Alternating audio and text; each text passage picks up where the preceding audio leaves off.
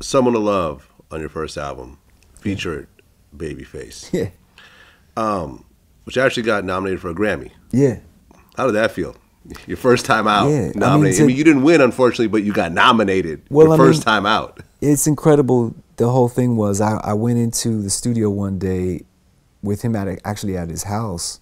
We were recording, um, and he had the song "Someone to Love." He played me the track, he played me the song. I loved it, and so, but he he didn't have any lead vocals recorded on it. He basically just had like a little scratch vocal that had the lyrics to let me know how it went.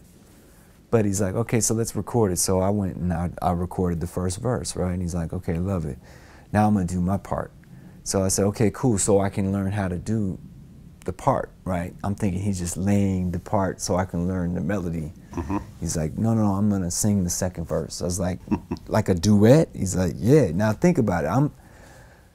This is the guy who I used to imitate his vocals for people in high school, like try to really sound as much of like him as possible uh, to impress girls. You know what I mean? Like, I mean, and and it- one of the most influential vocalists, just like Marvin Gaye or Michael Jackson, he's up there. You know, for me. Yeah. So to get him at 19 or 20, whatever it was, to sing on my first record that I ever put out was very, very much. You couldn't tell me. I mean, you had to pinch me. You know what I mean? To let me know, like, okay, dude, this is happening. And um, yeah, I was very, very much in awe. The whole thing. Let alone we got a Grammy nom, you know, for that. And um, you know, the movie was in the Bad Boy soundtrack and all that. So right away it was sort of like, okay, we're out to the races. You know, Well, I mean, you guys sound kind of similar I mean, on it that was song. it was evident, you know, on that song. Yeah. Definitely want to show that from the jump. This is the guy who is sort of like the foundation for what I do. You know, Yeah. um, in R and B, there's only so many pillars that are really holding up. You know, the foundation. It's like the foundation. You know. Uh, so I, I'm one of those guys who likes to go back and show show my influence because I didn't start off wanting to be an artist. I started off wanting to be a producer, and I use my vocals as a technique to, as a tool to kind of get my songs and my production to artists. So if I wrote a song for Luther Vandross, I sang the song, you know, in a in a Luther vibe, and I, I can do Luther vibe. You know, I could do a Babyface vibe. I could do a Ralph Tresvant or a Johnny Gill, or you know what I mean? Because I'm a big fan of R&B music. So it was interesting. People caught that that glimpse of my influence with Babyface, and they instantaneously thought that's the way his voice sounds on everything he sings. You know, and, Right, which it isn't. which is not. Yeah. And so it, it took records like, um, you know, They Don't Know, which was very, very much. I think it still to this day is sort of like the song I think people best know me for, and, and you know, really. They come to the show and they sing that the loudest, you know what I mean? and that was a song I sort of like really spread my wings and, and, and got got to uh, shine in my own right and stepped out uh, out out of the shadow of Babyface. Well, I mean, you, know, you mentioned that you were writing, you know, for a few people. You said Toni Braxton, Mm-hmm. um, Color Me Badd, but also Michael Jackson. Well, I didn't write the song, but I had the the, uh, the pleasure of working with his uh, his voice in the studio um, and getting to. Uh, we were managed by the same manager, uh, Sandy Gallin and Jim Morey, and, Who and also managed Michael Jackson. yeah, Okay. yeah. So It's pretty was- much as high as you can get. yeah, I, I, I was, you know, in the office a lot, and uh, it'd be like, okay, oh, we got to cut this meeting short. Mike is on his way in, and I'm like, okay, no problem. Yeah. But you know, I mean, because of that, it was a cool opportunity for you know for me to work with. Uh, the song "You Are Not Alone" that R. Kelly wrote, but I, I had the opportunity to be the only person uh, besides Jimmy Jimmy Jam and Terry Lewis to uh, to get to remix it. Well, I think Frankie Knuckles did a house mix, but I was I did the official remix um, for it, and it was really cool because you know I remember him calling the you know the studio to check on me and just say, you know, I like the mix and thanks a lot, man, for doing this. And I was like, incredible. Can't wait to shake your hand, meet you in person, and then of course I met him at the Brit Awards Ah. uh, Jim Morey brought me backstage, and I, I met Mike and got to shake his hand. And you know, uh, that was really cool. Yeah. Dope, dope. So the first album comes out, and uh, you know, I, I'm looking at the charts now. It got up to number 7 Mm-hmm. on the top 200 charts, number four on the R&B charts, and it goes platinum. Yeah. So you're platinum right out the gate, Grammy nomination. I mean, you're off to the races at this point. Yeah. So then it's out time for album number two Yeah. for Cool Relax, Yeah.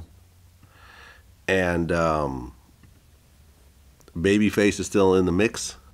Yeah, absolutely. But this is where I, I, I, like I was saying, I was more or less spreading my wings and really trying to step outside of the, you know, being overshadowed by my influence of you know, that I, that Babyface had, you know, on me. and um, you know, I, I think that that was sort of like something that began to spread a little bit uh, faster than I wanted it to, in a way where all of a sudden now I wasn't my own artist.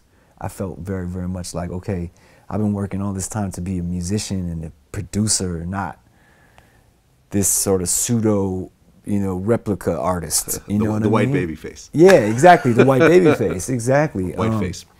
and, you know, exactly. I mean, my, right. You know what? Uh, ev- everyone who works with him, um, whether it be Tevin Campbell, Johnny Gill, uh, Toni Braxton, Karyn White, um, you know, after seven, they all have the the polishing of his style on their records. Um, and when you know when I got my chance to work with him, I wanted nothing but to do just the exact same thing. So when people hear that, they hear they hear me doing you know very very much his realm, his vibe.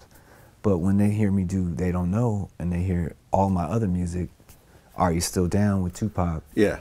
uh, there was no denying that there was more to it than just that, you know. And Cool Relax was sort of my way of being able to let people know everything that, else that came with me, you know. Um, all the other influence, hip hop is a huge influence in, you know, in my style, and um, that leads me into, you know, the the collaboration I had on the Cool Relax album with with uh, with Tupac, which is, Well, you know, I mean, I want to I want to first talk about they don't know yeah, for sure, because that was really the biggest song you ever put out. yeah, yeah. I mean, when you put it together, did you know right away that it was going to be a monster like that, or no? funny enough, when I turned that song in, it was um, it was looked at as sort of like, okay, this will be a cool song for the album.